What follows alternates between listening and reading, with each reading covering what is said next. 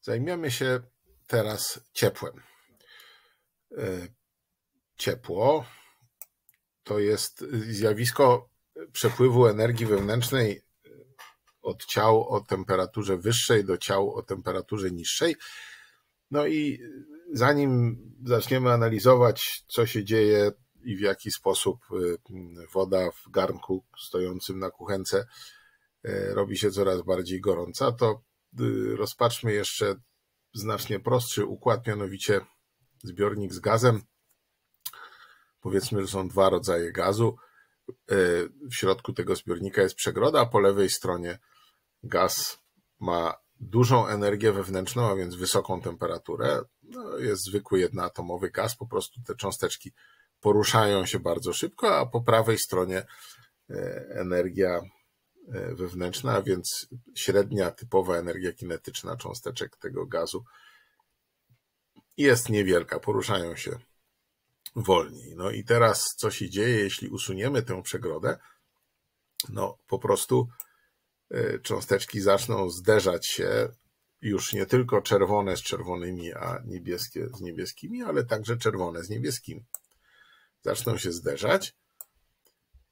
I okazuje się, że w wyniku tych zderzeń energia kinetyczna y, tych atomów będzie się wyrównywać. To znaczy te y, czerwone, szybko poruszające się cząsteczki o średnio dużej energii kinetycznej będą y, tę energię kinetyczną w wyniku zderzeń tracić, a ponieważ energia, jak wiemy, nie ginie, to oznacza to, że te niebieskie cząsteczki, które poruszały się e, wolniej i miały mniejszą średnią energię kinetyczną, będą poruszać się w wyniku zderzeń coraz szybciej, co starałem się tutaj narysować. No i po pewnym czasie dojdzie do wyrównania średnich energii i wszystkie cząsteczki staną się zielone, to znaczy e, energia kinetyczna cała, całego tego układu, średnia energia kinetyczna będzie gdzieś pomiędzy tą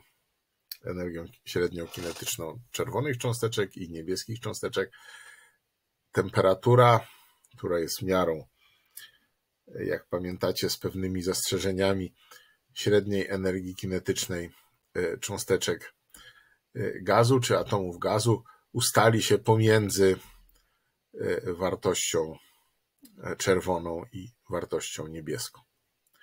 I teraz możemy się zastanowić, jak to jest tak naprawdę w naszej kuchni. Mamy kuchnię gazową albo indukcyjną, jest rozgrzana, to ta czerwona kreska to symbolizuje albo płytę, albo palnik kuchni gazowej. Z jakichś powodów ta płyta jest gorąca, bardzo gorąca, rozgrzana do czerwoności, jeśli to jest płyta indukcyjna. No i na, na, na płycie y, stoi garnek. Stoi garnek, który też jest bardzo gorący, nagrzał się i w tym garnku nalewamy zimnej wody. Zimna woda to jest te niebieskie kropki. E, e, cząsteczki wody poruszają się dość leniwie, tak, dość powoli, no ale zderzają się z cząsteczkami e, materiału, z którego zbudowany jest garnek. I te cząsteczki drgają. Pamiętacie, że garnek ciało stałe cząsteczki są jakby uwiązane do swoich pozycji, ale mogą drgać wokół nich, tak? Więc drgają bardzo intensywnie i zderzając się z, zderzając się z tymi cząsteczkami e, wody niebieskimi, przekazują im część swojej energii, no, e, w formie energii wewnętrznej, bo to już nie tylko energia kinetyczna, mamy tutaj do czynienia z cieczą, więc jest też energia potencjalna oddziaływania. Ta energia wewnętrzna y, na razie rośnie energia po prostu pojedynczych cząsteczek, ale kiedy zrobi się ich coraz więcej i coraz więcej, to można powiedzieć, że energia wewnętrzna wody, średnia energia wewnętrzna wody zaczyna rosnąć. Oczywiście zasada zachowania energii obowiązuje w każdym takim pojedynczym zderzeniu cząsteczki wody z cząsteczką w ściance naczynia.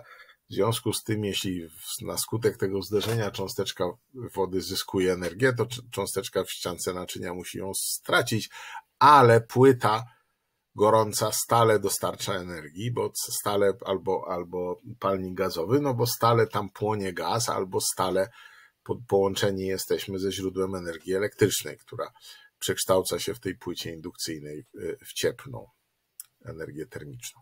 No i po pewnym czasie tych cząsteczek niebieskich będzie już bardzo niewiele, albo w ogóle ich nie będzie. Oczywiście znowu e, trzeba jeszcze pamiętać, że warto ten garnek przykryć, będzie wtedy szybciej się podgrzewał, bo jeżeli nie przykryjemy, no to te najszybsze cząsteczki, najszybsze cząsteczki wody będą uciekać z garnka do fazy, do fazy gazowej na przykład. No i tak mniej więcej działa ten proces, jakkolwiek byśmy go nie, w jakiejkolwiek sytuacji byśmy z nim nie mieli do czynienia, to, to najczęściej właśnie E, sprowadza się to do oddziaływania cząsteczek o wysokiej energii z cząsteczkami o energii mniejszej i przekazywania im tej energii wewnętrznej.